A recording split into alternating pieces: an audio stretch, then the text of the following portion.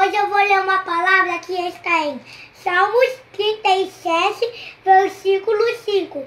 E diz assim: Entrega o teu caminho ao Senhor, confia nele, e o mais ele fará. Então, irmão, se está se que você tem que entregar